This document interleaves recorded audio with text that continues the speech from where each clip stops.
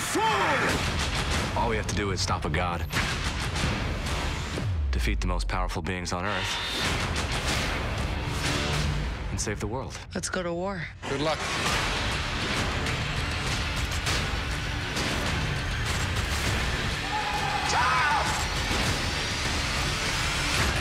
Apocalypse. Magneto, you know him? He's my father. What? Him and my mom, they did. No, I know.